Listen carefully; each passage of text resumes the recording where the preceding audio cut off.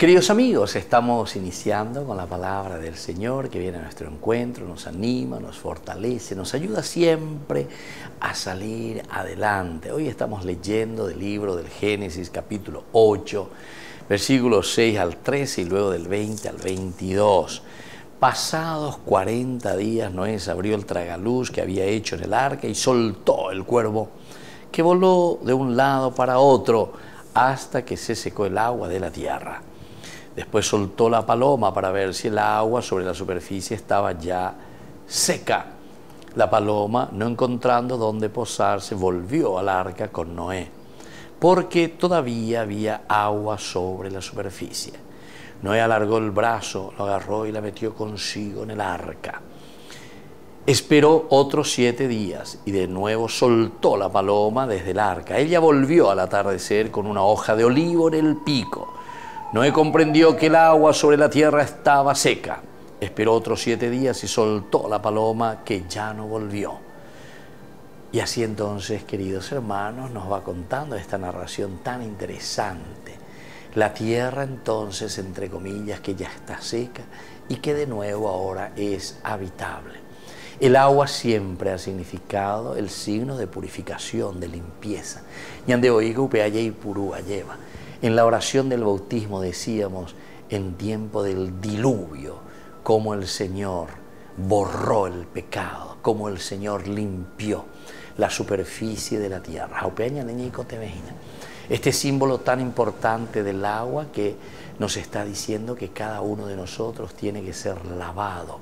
El lavacro, queridos hermanos, de nuestra conciencia, de nuestra forma de pensar, de nuestra forma de actuar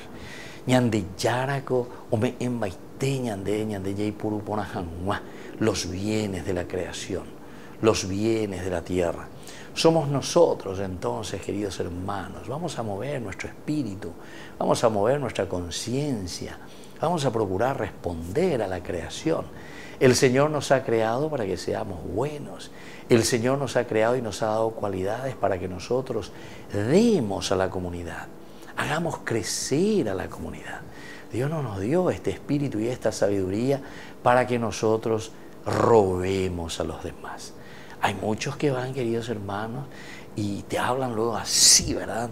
Como teniendo la sabiduría, porque fueron a estudiar a Europa, a los Estados Unidos, en las mejores universidades. Pero a uñan de ave o mondajangua. O sea, fueron a aprender la lección de cómo robar. Y eso no está bien, queridos hermanos. Dios nos ha dado las cualidades, las capacidades en nuestra vida, en nuestro corazón, no para ser delincuentes, sino que justamente para ser personas que están siempre mirando y buscando el bien de la comunidad. ¿Cómo puedo yo ofrecer algo bueno y nuevo a la comunidad?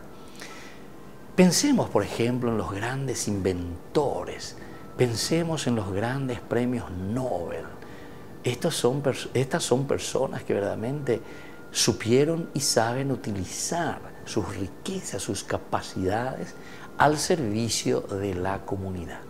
Pidamos esta gracia para cada uno de nosotros, para nuestras familias y para nuestro país. El Padre y el Hijo y el Espíritu Santo. Amén.